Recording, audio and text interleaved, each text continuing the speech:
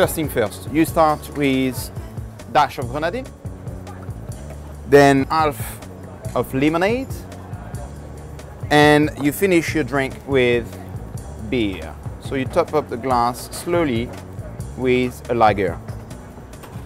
Enjoy.